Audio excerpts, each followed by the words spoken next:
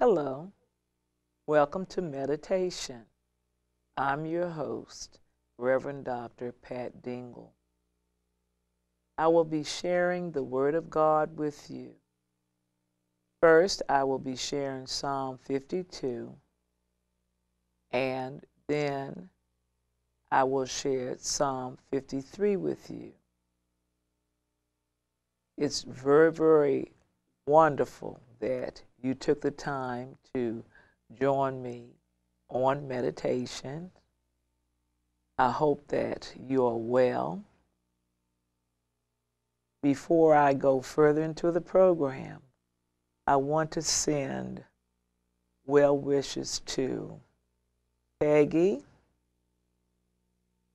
and I also want to send well wishes to Martha. I know that Peggy and Martha um, have not been feeling well. So I want to say I wish you well. I also have an Aunt Jerry who has been ill for a long period of time. And I want to say hello and Happy New Year to her and wish her well also. To all three of these ladies, I want to send encouragement because God really does care for each of you as He does for all of us.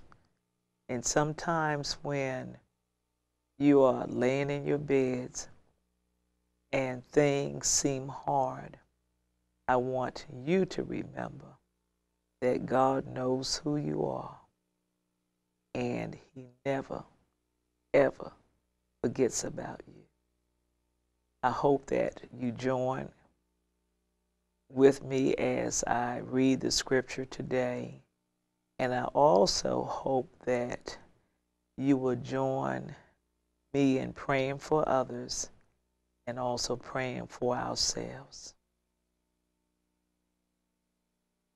Before I start with, with before I start with Psalm 52, I'd like to sing the chorus of a song. I must tell Jesus. I'm certain that I may switch some of the words around, but I think when we sing that the most important thing is not the words, but the meditation of our hearts and our minds and our spirit as we come to the Lord and worship, worship Him. I must tell Jesus all of my trials. I cannot bear these burdens alone. In my distress, He kindly will hear me. He ever loves and cares for his own. I must tell Jesus, I must tell Jesus, I cannot bear these burdens alone. I must tell Jesus, I must tell Jesus. Jesus will help me.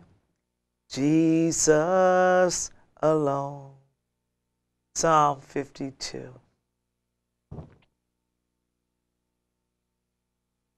Why boasteth thou thyself in mischief, O mighty man?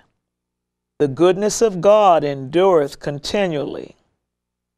Thy tongue deviseth mischiefs, like a sharp razor working deceitfully. Thou lovest evil more than good, and lying rather than to speak righteousness. Thou lovest all devouring words, O thou deceitful tongue. God shall likewise destroy thee forever. He shall take thee away and pluck thee out of thy dwelling place and root thee out of the land of the living. Selah. The righteous also shall see and fear, and shall laugh at him. Lo, this is the man that made not God his strength, but trusted in the abundance of his riches, and strengtheneth himself in his wickedness. That's verse set 1 through 7, and I want to pause here and look at these verses. This passage points to a mighty man, a man who has riches and who does not consider God, but considers his strength and the riches and loves evil instead of good and likes um, to destroy. And let me let me correct that. He likes evil rather than good and deceitfulness. He'd rather lie than to speak righteousness.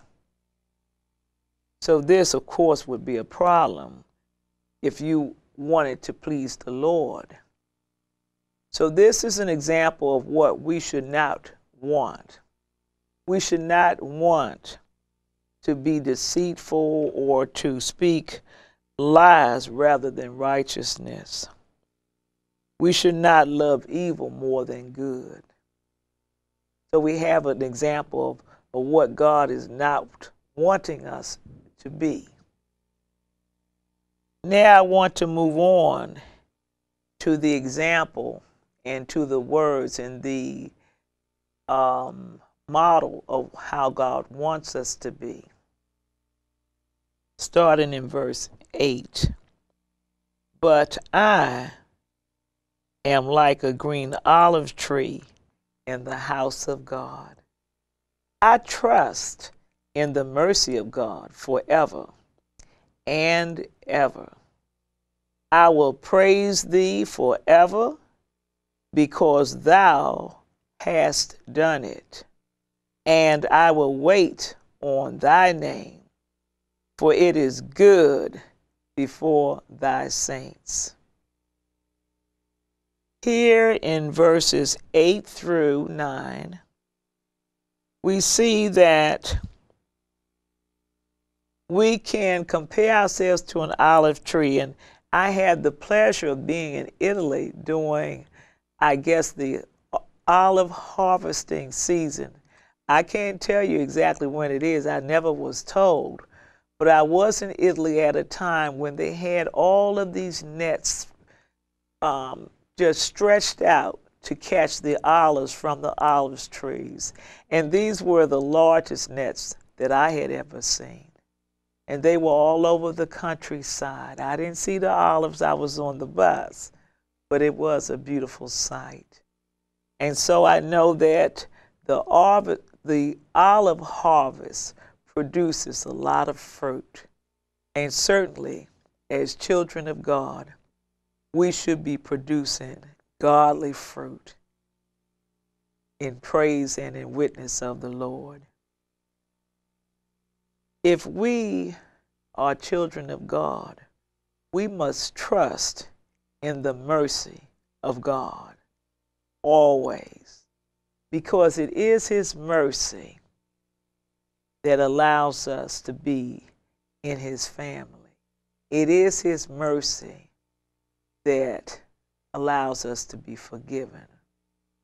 And I, I haven't gone into a lot of detail tonight. I'm trying to stick to the scripture, but we know that there's more to the story than what I'm saying, but I want to sort of sort of strict stick to the text.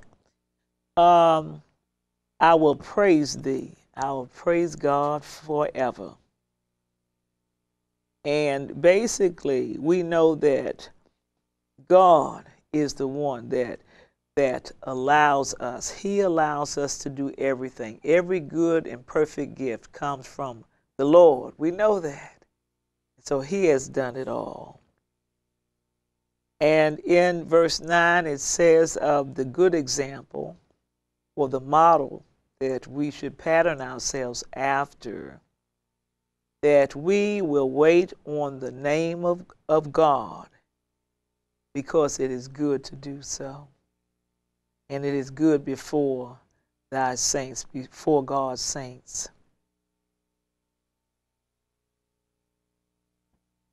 I want to sing this little light of mine.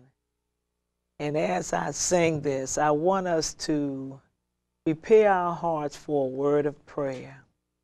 And I'd like for us to prepare, prepare our hearts to think on God, to think on Jesus, his son. This little light of mine, I'm gonna let it shine. This little light of mine, I'm gonna let it shine. This little light of mine, I'm gonna let it shine. Let it shine, let it shine, let it shine. Everywhere I go, Lord, I'm gonna let it shine. Everywhere I go, Lord, I'm gonna let it shine.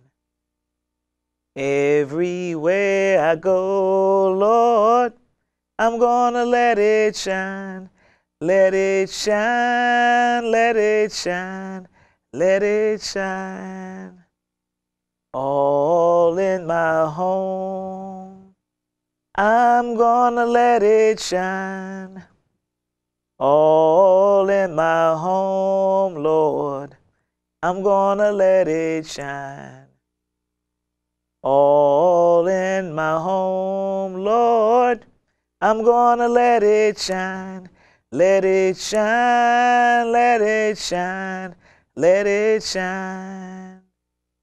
Everywhere I go, Lord, I'm gonna let it shine. Everywhere I go, Lord, I'm gonna let it shine. Everywhere I go, Lord, I'm gonna let it shine.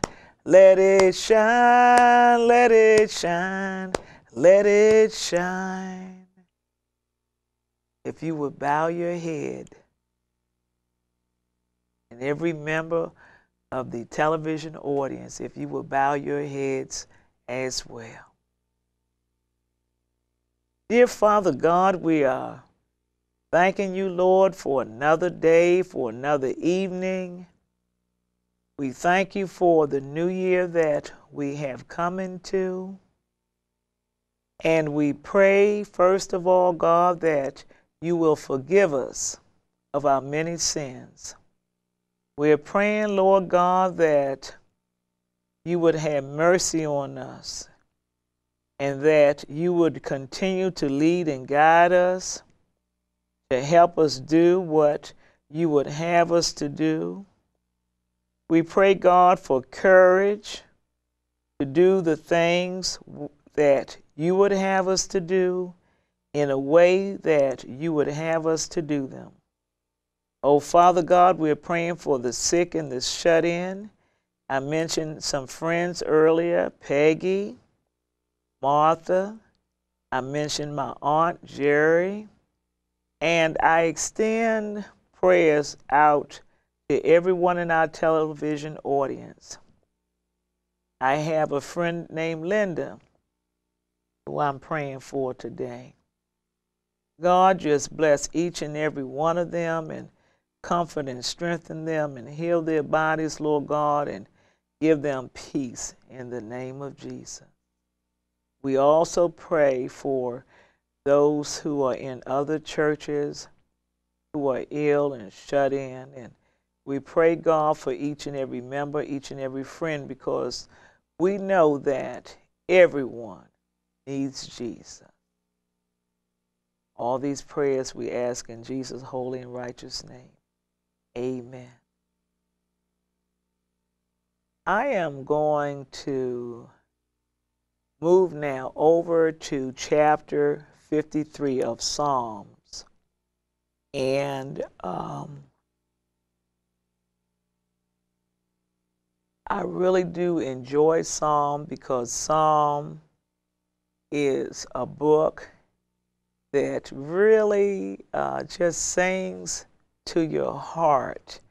And there's a psalm for every occasion in my mind. I have read them over the years and they are very, very wonderful. The Bible, which I read from tonight, is a King James Version Bible. So at this point, I will be going to Psalm uh, chapter 53. And I think we'll start off with a song before I go into sharing Psalm 53 with you.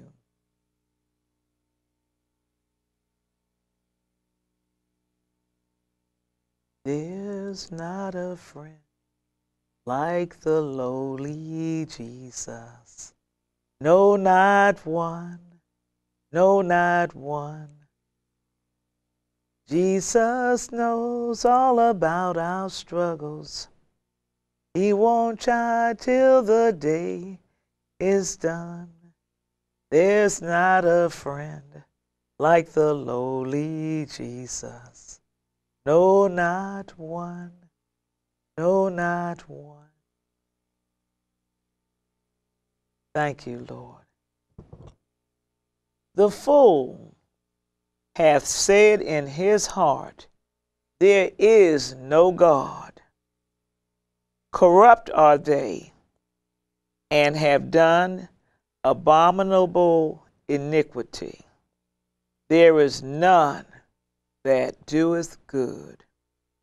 God looked down from heaven upon the children of men to see if there were any that did understand, that did seek God. Every one of them is gone back. They are altogether become filthy.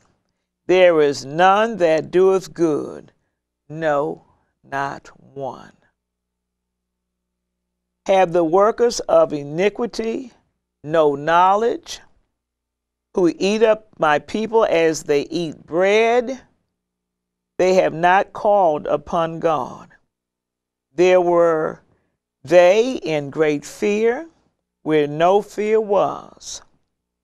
For God hath scattered the bones of him that encampeth against thee. Thou hast put them to shame because God hath despised them. Oh, that the salvation of Israel were come out of Zion. When God bringeth back the captivity of his people, Jacob shall rejoice and Israel be glad. Now, I just want to talk about the state of a person. And I believe that you have to look at the whole Word of God I know that we're under the dispensation of grace. I know that we look primarily to the New Testament. But yet, all scripture is profitable unto us. It's profitable, it's profitable for learning and exhortation. So let's look at Psalm 53. The fool A foolish person does not acknowledge God. The Bible says that they are corrupt and have done a, a terrible iniquity. It talks about there not being anybody that doeth good. And I want to pause here because I think that what we need to think about is that no matter how wonderful we may feel about ourselves, no matter how righteous we think we are, without the love of God, we are just filthy rags in His sight. And so I think this Psalm 53 helps us to be humble.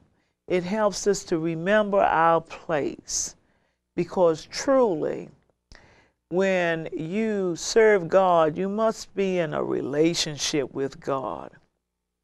And it's not a relationship where you're equal to God.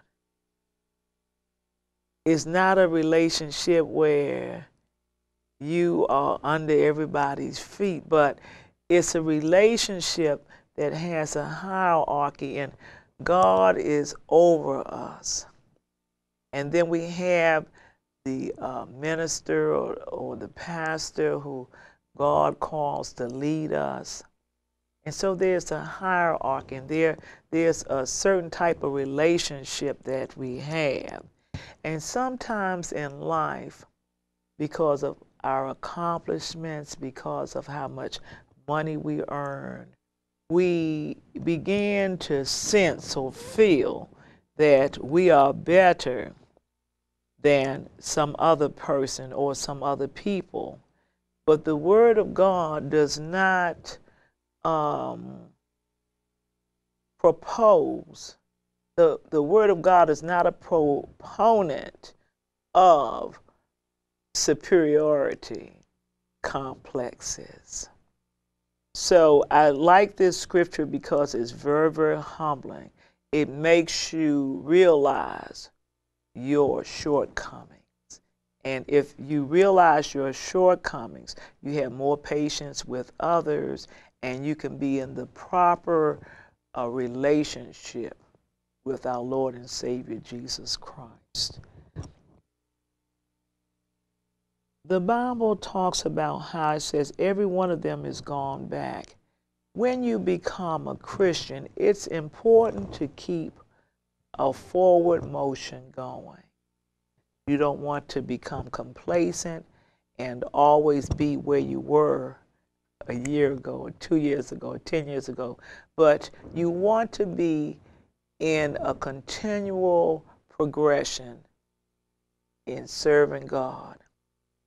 He has great things for us to do. And the greatness is only limited by our minds and our hearts, not God's mind, not God's heart. And we know that God is a spirit, and they that worship him must worship him in spirit and truth. But we must be in a forward movement not complacent, and certainly not moving back or moving away from God, but moving forward and continually seeking His will for our lives. When a person denies God, they are exhibiting a lack of knowledge. Uh, often, they are also in great fear. And the Bible says that they are fearful where uh, there, there should be no fear. It says, There were they in great fear where no fear was. In other words, the ungodly are fearful of anything, perhaps of everything. But when you serve God, He casts out fear. Praise the Lord.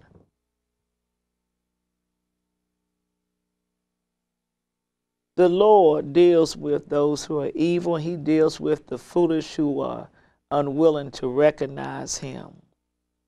Said every knee shall bow and every tongue shall confess that Jesus Christ is Lord.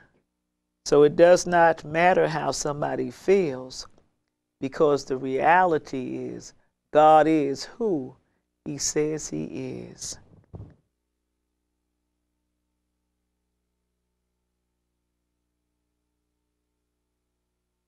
In verse 6, we see a historical perspective where the Bible talks about the salvation of Israel. It talks about um, the captivity of his people. We know these are historical events, the captivity of the Israelites, God's people. But it closes on a high note. And it says, Jacob shall rejoice and Israel shall be glad. And I think that this is our state when we serve God. We will have trials and tribulations in life. But at the conclusion, when all is said and done, we will rejoice. We will be glad. I want to thank you today, first of all, for being here. And I want to pray that the Lord will add a blessing to the reading of His holy word. I'm praying that He will just press it down deep in your hearts, such that you will become a light to somebody else. Thank you for coming and joining with me today. I'm always so delighted to have you on on my show in my audience and I do have a special guest come on but the primary reason that I'm on television is to come and share the word of God with you. I'm especially um, concerned about those who are sick and shut in, those of you who are not able to come and go as you used to. And I think that it's very important that you know somebody cares. This has been meditation. I'm your host, Reverend Dr. Pat Dingle. Thank you for joining me, and I hope to see you next time. This little light of mine, I'm gonna let it shine. This little light of mine, I'm gonna let it shine.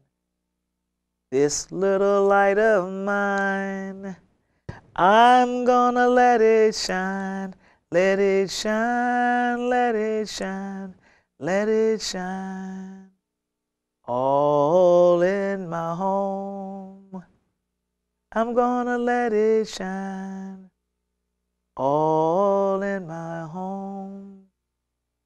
I'm gonna let it shine.